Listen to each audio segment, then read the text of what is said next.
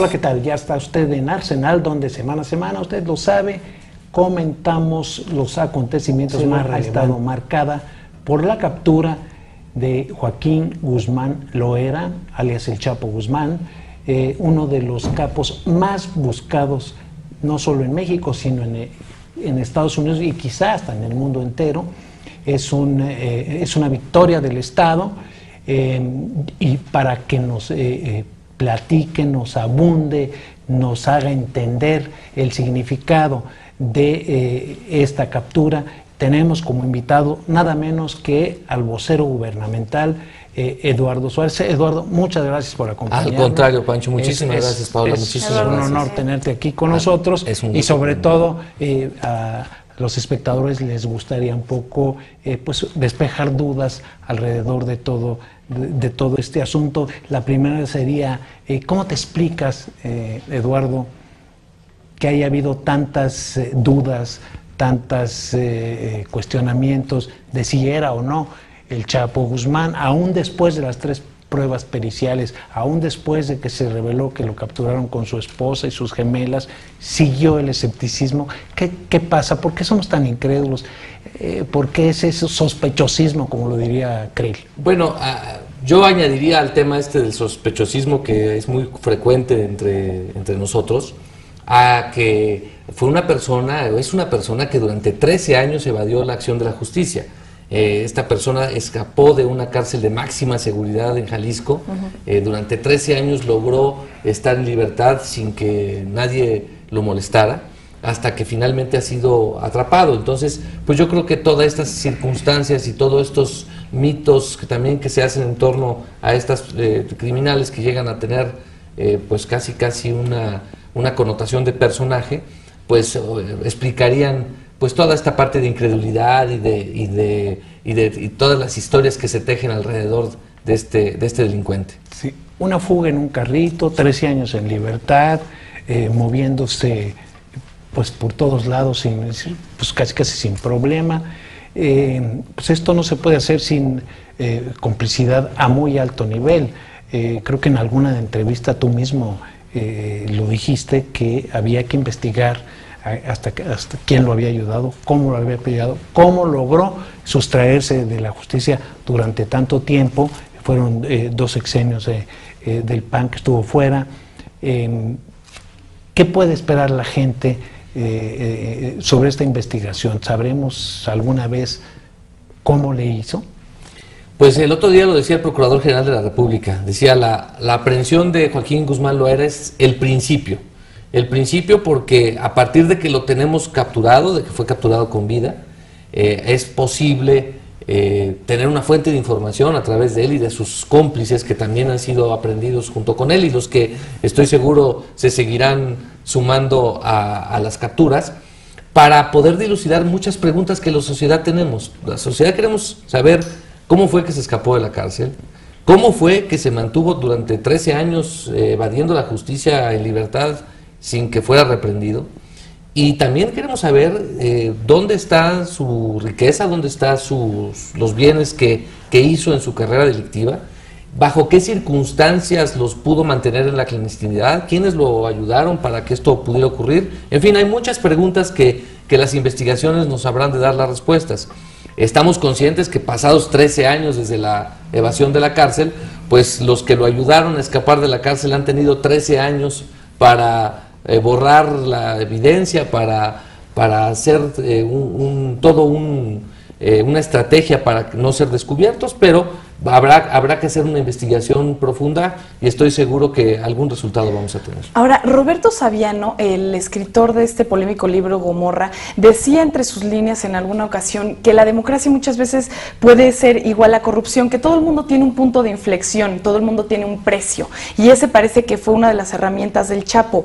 ¿Cuáles son las posibilidades de que vuelva a suceder incluso desde la cárcel? Todo el mundo, a decir de este hombre, tiene un precio.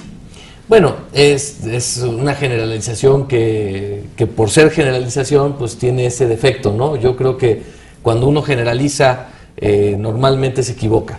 Eh, hemos tomado medidas muy claras, hemos hecho un estudio y un análisis de, eh, de, cuáles han sido los protocolos de seguridad en las cárceles de máxima seguridad que se han seguido. Hemos reforzado esto y estamos plenamente seguros de que esto no se puede volver a repetir. Eh, recordemos además que la captura de Joaquín Guzmán Loera se da dentro de una estrategia de seguridad que tiene un propósito muy claro y muy simple el presidente de la República se comprometió a reducir la violencia en nuestro país. Y en este camino es como se ha, sido aprendido esta persona. Eh, recordemos que al principio de la administración el presidente Enrique Peña Nieto al, eh, comprometerse a reducir la violencia, se hacen dos estudios, se hacen muchos, pero quisiera traer dos a la, a la mesa ahora. Uno, de cuáles son los criminales o quiénes eran los criminales que al primero de diciembre de 2012 estaban generando mayor violencia en nuestro país. Identificamos a 122 eh, objetivos prioritarios, entre ellos esta persona. A esta fecha, un año y meses después de que inició el gobierno de Enrique Peña Nieto, se ha logrado eh, neutralizar a 75 de ellos. De estos 75, en el 95% de los casos no se ha producido un solo disparo. Y esto obedece a que se ha privilegiado en la estrategia de seguridad la inteligencia por encima de la fuerza. El presidente de la República ordenó que se racionalizara y se utilizara de manera muy mesurada la legítima uso de la fuerza por parte del Estado, porque eso también genera violencia. Por el otro lado, eh, se identificaron mil polígonos, es decir, mil comunidades, barrios, eh, lugares, en donde las condiciones sociales son propicias para que se genere delincuencia. Ahí son lugares con una enorme marginación, con prácticamente nulos eh, eh, esquemas para el desarrollo social, con desempleo, con falta de acceso a salud, en fin, una serie de cosas que son un caldo de cultivo muy propicio para generar delincuencia. Hay violencia en la familia, hay violencia en la escuela, hay violencia en la calle. Entonces, en estos mil polígonos, que es donde se está haciendo el trabajo más importante y al que nosotros le estamos apostando de una manera mucho, muy eh, eh, decidida, y que vamos a tener eh, resultados en el mediano y en el largo plazo, es la reconstrucción del tejido social, es revertir estas condiciones sociales. ¿Para qué? Para que en esos lugares disminuya la violencia, para que haya alternativas para los jóvenes, para que los jóvenes tengan entretenimiento, deporte, cultura, espacios para el empleo y entonces la vida delincuencial se vuelva poco apetecible.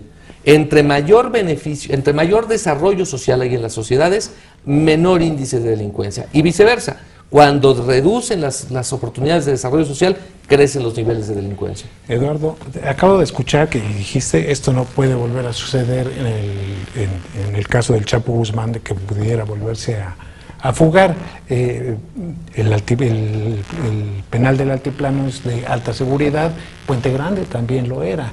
Los policías, pues son gente, es, condición humana también. Este, con qué certeza o con qué, eh, eh, qué te da tanta seguridad de que esto no se va a repetir si los policías, pues, son susceptibles de corrupción? Si ya vimos que una vez un penal de alta seguridad, pues no fue tan de alta seguridad y se pudo escapar en un carrito. En fin, ¿qué, ha cambiado de entonces acá que pudiera uno decir, no, ahora sí no se les va a pelar? Hay una sistematización. Yo creo que cuando nosotros apostamos a los esquemas, apostamos a las... Eh, a los métodos, más que apostar a la eficacia de las personas en este tipo de cosas, es como podemos tener mayor éxito.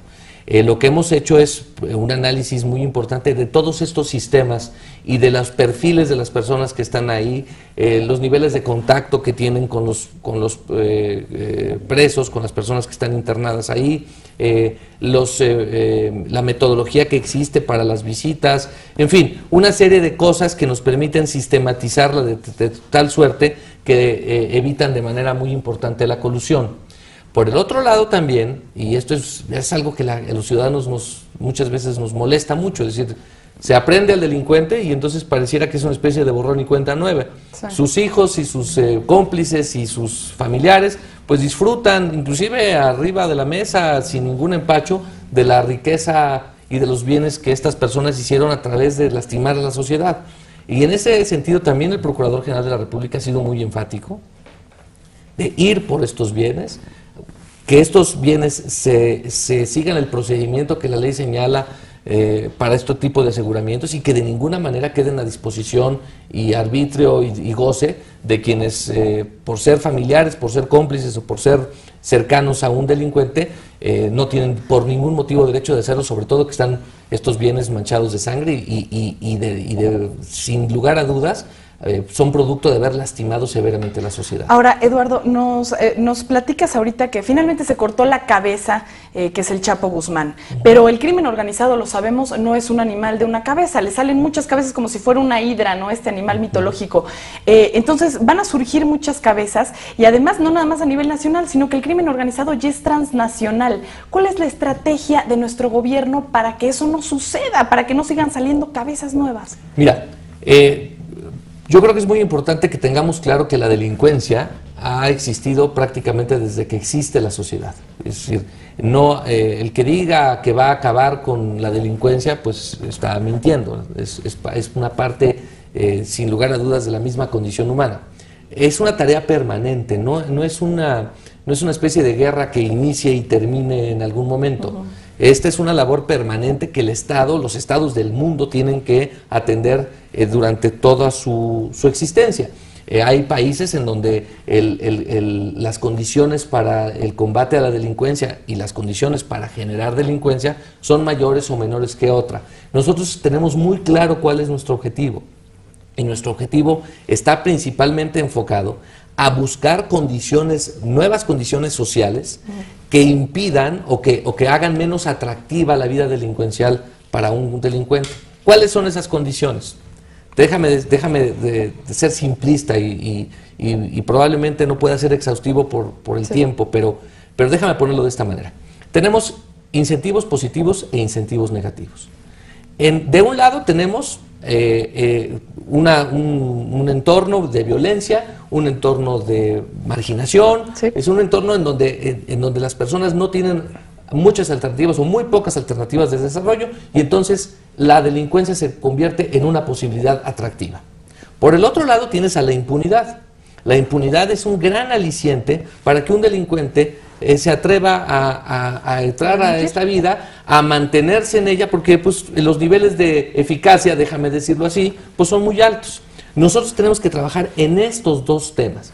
Por un lado, disminuir la impunidad, la aprehensión de esta persona eh, demuestra y manda un mensaje muy claro de que estamos de frente contra la impunidad. No vamos a permitir y vamos a hacer todo lo que esté en nuestro alcance para que la impunidad disminuya y, no solo eso, sino para que eh, el actuar del gobierno sea mucho más eficaz y entonces se, vayan haciendo estas historias de éxito. Y por el otro lado, tenemos que trabajar para que las condiciones sociales suban, mejoren, se generen eh, alternativas, como ya dije, de empleo y todo ello, para que entonces los ciudadanos no busquen en la delincuencia una alternativa. Y por el otro lado, quienes a pesar de todo esto eh, se, metan a la, carrera eh, delictiva, pues entonces que tengan la plena certeza de que se les va a atrapar, se les va a presentar ante un juez y se les va a castigar. Nada más me gustaría agregar un pequeño paréntesis, porque ahora que estábamos viendo las manifestaciones a favor del Chapo, creo que ese tercer último grupo que mencionas es importantísimo, porque ahora los, eh, los narcotraficantes, los, cualquiera, cualquiera que pertenece al crimen organizado, los narcos, ya son ídolos. Entonces ya no es nada más una oportunidad de trabajo o te amenazo y entonces tienes que formar parte de esto, sino que ya también son parte del modelo a seguir. ¿Qué se puede hacer en términos de, pues, detener esto? Bueno, mira, por una parte nosotros eh, em, hicimos un análisis al principio de la administración de la manera en la que se estaba comunicando los temas de seguridad. Eh, déjame ponerle al público ahorita una imagen enfrente y todos lo van a recordar. Es más, ni siquiera voy a decir el nombre de este delincuente y estoy seguro que la mayor parte de las personas que hoy nos ven lo van a identificar. Tenemos a un delincuente con una playera de moda, este, eh, de, manga corta, esposado al frente, sonriendo, burlándose, ufano. Frente a él tiene, una mesa llena de dinero, armas por todos lados, una cantidad de dinero que, pues, que ni siquiera podemos imaginar cuánto es, pero se ve que es muchísimo. Junto a él eh, lo flanquean dos policías fuertemente armados, con un chaleco contra balas, un casco, eh, con, una máscara para que no se les vea el rostro, este, se les adivinen los ojos hasta temor, Y entonces esa, esa imagen se la pusimos, eh, hicimos grupos de enfoque. Y entonces eh, los ciudadanos la interpretaron de muy diversas maneras. Por ejemplo, una gran cantidad de jóvenes la veían como que el héroe era él, el que estaba burlándose, estaba sonriendo, que tenía acceso a todo ese dinero. Tenían miedo. Y además eran las fuerzas del orden, los policías que tenían que ponerse máscaras porque le tenían miedo al delincuente y que los que aparecían temerosos eran ellos y no el delincuente que parecía sonriente. Entonces, esa forma de comunicar, de alguna manera, abona o abonó en hacer de estos personajes relevantes. Si tú le llamas a una persona por su apodo, o un delincuente por su apodo, pues es como eh, darle el rango a un, como decirle a un, a un militar eh, su rango, que es algo que le llena de orgullo, pues a un delincuente su apodo le llena de orgullo. Hablar de las bandas de los delincuentes es casi casi generarles una franquicia. Este, hablar de, de como, como, si esto fuera realmente relevante e importante. Nosotros hemos acabado con no, hemos acabado con, eso. Nosotros hemos eh, hemos presentado a los delincuentes con su nombre y apellido, que es como, como cualquier ciudadano eh, se le debe de presentar. No se hacen presentaciones en vivo que además son atentatorias de los derechos humanos y muchas veces se, eh, son utilizadas por su defensa para sacarlos de la cárcel. Eh, se presentan fotografías únicamente con el propósito que la gente pueda ver de quién se trata y si alguien lo identifica pueda presentar una denuncia. No se les presenta, no se les prejuzga en, ello y desde luego no se les no se está haciendo apología del delito. Pero se les admira porque hacen obras públicas. Y de la, y de, perdón, para terminar nada más la idea, eh, eh, eh, se les, no se les presenta como personajes relevantes de la sociedad, sino al contrario, se les presenta como lo que son presuntos responsables de hechos y de actos que son castigados por la ley y que además van a tener una consecuencia en su vida. Sí, bueno, un poquito para precisar eh, este personaje, pues la gente, no, yo sí, tú no lo puedes decir, pero yo sí, me imagino que estabas hablando de la Barbie cuando estabas eh, describiendo este personaje que hay. Eh, me voy a ir un poquito atrás en lo que dijiste de, sobre las riquezas de, de Joaquín Guzmán Loera, para no utilizar el apodo del Chapo. Eh, eh, Forbes la calculó en mil millones de, ¿Pero cómo la calculó? Eh, esa es una duda. Yo, yo, yo, le preguntaba alguna vez a un reportero de, de esa revista, oigan, ¿ustedes cómo hacen sus, sus estimaciones? Me dice, bueno, nosotros vemos qué, qué negocios tienen en la bolsa, este, con eso hacemos el cálculo. Oiga, ¿y cómo le hicieron para calcular la de este delincuente, no? Y ahí como que no me pudo explicar, ¿no? Yo, yo pregunto, ¿cómo, ¿cómo se puede calcular una, una, fortuna clandestina. Bueno, tú mismo en alguna entrevista dijiste es una buena forma de vender revistas. Eh, eh, efectivamente, de lo que no hay duda es de que el señor pues tiene mucho dinero. Eh, Paola también tocó otro tema que a mí me parece fundamental, que es estas manifestaciones de apoyo que se han, que se, que se han realizado en algunos municipios de, de Sinaloa, que quizá, digo, a mi juicio están revelando un vacío de autoridad es decir, que salga la gente a rostro descubierto a pedir con carteles abiertamente que liberen al Chapo Guzmán, pues francamente es una imagen que llama muchísimo la atención y que eh, tú, podrías suponer que es gente pagada. No, me parece que tampoco es exclusivamente gente eh, que pagaron para que fuera ayer, que sí hay una aurea de Robin Hood alrededor de este personaje, porque eh, incluso en algún libro de Malcolm Bates, que es eh, eh, un periodista estadounidense que hizo una investigación muy a fondo, eh, hablan de, este, de, este, de, esta base social que simpatiza con, con por las, las ayudas que ha recibido, las, las limosnas que, que le dan las iglesias, todo esto que rodea a este personaje que al final acaba de siendo un personaje mítico. Eduardo, hace obras públicas hace las obras, las obras, bueno, por decir, o sea, suple, suple las obras públicas. O sea, la, gente finalmente está teniendo, bueno, hasta calles que normalmente, justamente más bien, las obras públicas son eh, suplidas pues por esto. Es parte de esta primera eh, proyecto de nosotros, que es el donde el presidente Peña Nieto está haciendo el mayor impulso, que es el de la reconstrucción del tejido social, la prevención del delito. Aquí tenemos un problema muy grande es que se ha resquebrajado por completo el tejido social. Tenemos eh, un, enorme problema de violencia en las familias, de desintegración, en fin. Y tenemos por el otro lado un problema de, de resquebrajamiento del tejido, es decir, de comunidades en donde, en donde estos, estos delincuentes han pretendido suplir en muchas ocasiones actividades que hace el Estado. Entonces, ahí está el, el, trabajo de nosotros. Hay comprometidos 36 mil millones de pesos en este programa para ir a estos mil polígonos. Mira, eh, les, pues les voy a dar un ejemplo que creo que puede ser muy ilustrativo. Eh, muchas de estas eh, colonias son de, de, que hay mucha violencia. Hay una enorme cantidad de mujeres que son jefas de familia.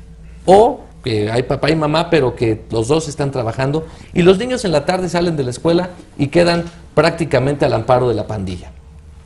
El programa de escuelas de tiempo completo, además de mejorar la calidad educativa, además de permitir que los niños se regularicen para que si se están atrasando en algunas materias puedan eh, tener eh, una, especie de regularización, también tiene una connotación, sin lugar a dudas, eh, de prevención del delito. Es decir, mantener a los niños en las escuelas, en las tardes, para que puedan a partir de ahí tener actividades deportivas, de actividades estéticas, culturales, de regularización, etcétera, cumple un doble, una, una doble misión.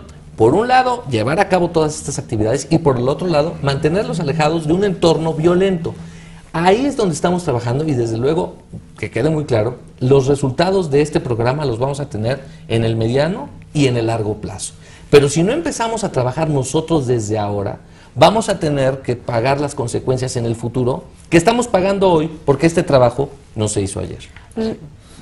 Dile a la, eh, a la gente le gustaría eh, escuchar eh, cuál es la previsión. El Chapo, Chapo Guzmán en la, en la cárcel, ¿qué va a pasar eh, o, cuáles son los escenarios que tiene el gobierno frente a esta, eh, este nuevo digo, panorama que hay ya sin el Chapo Guzmán ahí. Y ahí yo agregaría el tema de la, de la extradición a Estados Unidos, si es que se va o se queda, y si se queda, hace unos días también platicábamos de que el 60% de las cárceles en nuestro país son dirigidas o controladas por reos. Eh, nosotros podríamos tener la garantía, si es que se queda, de que el Chapo se vaya a quedar en la Bueno, ese dato no, no debe ser reciente, creo que es, es importante... Hace un par de meses, por la CNDH. Yo creo que vale la pena decirlo así porque eh, lo hemos visto durante la administración del presidente Enrique Peña Nieto, pues prácticamente se ha recuperado el, control de las cárceles, es decir, hay revisiones constantes, hoy, ya no ven estos eh, eventos en los que hay fugas masivas de reos, etcétera. En ese sentido también la, la Secretaría de Gobernación ha hecho un trabajo muy, muy importante precisamente para que eso no ocurra. Por el otro lado, la, la, la Procuraduría General de la República hace un par de días eh, dio a conocer todas las causas penales, es decir, los expedientes penales que tendrá que enfrentar eh, Joaquín Guzmán Loera en los tribunales mexicanos, que son pues, abultadísimos. Eh, y la mayor parte de ellos tienen que ver con imputaciones de delincuencia organizada, que de acuerdo con la ley mexicana es una imputación muy grave, no admite mm, libertad bajo ninguna circunstancia y las penas eh, son eh, realmente muy eh, severas. Entonces, lo que podemos esperar es que nosotros vamos a hacer nuestro trabajo en sustentar perfectamente bien una acusación, vamos a presentar las pruebas, se va a consignar ante un juez, los jueces tendrán que administrar justicia conforme a lo que nosotros y la defensa de Joaquín Guzmán presente habrá de ser castigado y habrá de, permanecer en la cárcel durante mucho tiempo. El tema de la extradición, lo decía el secretario de Gobernación y el propio Procurador General de la República, eh, es eh, todavía no, eh, no podemos pensar en ese tema cuando todavía hay muchas cuentas pendientes que este señor tiene que saldar con la justicia mexicana. De manera de que los procesos a los que, a los que habrá de, ponerse enfrente, pues son muy severos, son muy eh, graves y la justicia mexicana tendrá que hacer su, su, trabajo aquí. Eh, otro tema, eh, Eduardo. Ayer nos enteramos de que fue abatido el Pantera, este señor Galeano parece ser que en abril también ya había sido abatido. Entonces, eh, de repente les eh, surge que, pues, finalmente el señor estaba vivo. Pero hubo hasta un comunicado. ¿Qué pasó? Así es. Bueno, ahí, ahí, evidentemente hay un error. Fue reconocido inmediatamente. Nosotros creemos que cuando la mejor manera de enfrentar un error es reconociéndolo inmediatamente eh, ser nosotros mismos proveedores de la información. El secretario de Gobernación le dio instrucciones al, al secretario ejecutivo del Sistema Nacional de Seguridad Pública, Montelejandro Rubido, para que de inmediato se hiciera del conocimiento público esta circunstancia a la que tú aludes y que también inmediatamente se haga una investigación y se, y se una investigación en términos de, de, poder dejar muy claro qué fue lo que ocurrió entonces en el evento de, abril de, abril de 2013 para no dejar ninguna, ninguna duda al respecto. Creemos nosotros que nuestro compromiso con la transparencia pues empieza por, si tenemos nosotros un error, reconocerlo sin ninguna ambaje. Hace eh, algunos días el secretario de Gobernación, a que tú aludes, eh, decía también que no hay ningún, eh, no hay cadáver del Chayo. Es otro de los delincuentes que desde la Secretaría de Gobernación en el sexenio anterior mataron. Bueno, eh, efectivamente esa, esa, fue la información que se dio en algún momento. El Chayo. Eh, sí, este, lo que pasa es que no recuerdo el nombre eh, de este, de este personaje. Y yo ya no hablo con apodos. de este personaje. la verdad es que no lo sé. bueno, pues este, y ahora que tenemos la presencia en Michoacán y que, y que el gobierno de la República está muy metido en, en este tema, pues están haciendo investigaciones que seguramente llevarán a muy buen término, de manera que esperemos a que esto suceda. Ahora, en términos de comunicación, así como, bueno, estábamos ahorita diciendo quién lo dice primero y quién después, se les adelantaron Calderón y AP, por así decirlo, la, agencia de noticias, ¿no? Eh, pues Calderón por su, por, su parte felicitando antes de tiempo y la agencia de noticias AP, que finalmente es estadounidense, eh, anunciándolo antes del, del gobierno de, de la presidencia. ¿Cómo les cayó al interior del gobierno cuando se dieron cuenta de ello? Bueno, la verdad es que nosotros como gobierno tenemos que actuar de manera muy, muy responsable. Y la crónica es más o menos la que, la que sigue, con alguna fallita que pudiera tener. 6.40 de la mañana se aprende esta persona, eh, se hace del conocimiento del secretario de Gobernación, se hace del conocimiento del presidente de la República. El presidente de la República instruye de inmediato a que se cerciore eh, con exactitud la identidad de esta persona para poder entonces informarlo con toda responsabilidad. A esta persona se le practican eh, los eh, dictámenes periciales que después la Procuraduría General de la República hizo del conocimiento de todos. Una vez que se tuvo la certeza, entonces el presidente de la República confirmó en aquel tuit eh, la, captura de, esta, de, este, de este hombre. de ahí ya, estaban, ya estábamos todos en la Secretaría de Marina, en el hangar de Marina en el aeropuerto. Aquí yo creo que lo más relevante de todo es que se le capturó, que se verificó su identidad y que fuimos muy responsables para... ¿Y algún funcionario de Estados Unidos que quiso quedar bien con la agencia AP? sin, duda. Y bueno, eso fue todo eh, en ese su programa Arsenal. Muchísimas gracias, Eduardo. nos quedaríamos aquí platicando porque es interesantísimo todo este tema y toda la información que tú traes, que ya no pudimos abordar. Con mucho gusto. La televisión es terrible con los tiempos. Paola, muchas gracias por acompañarnos. y a usted le doy cita la semana que entra 19 horas en este suárez. Te invitamos a seguir cuestionando la información con los siguientes videos.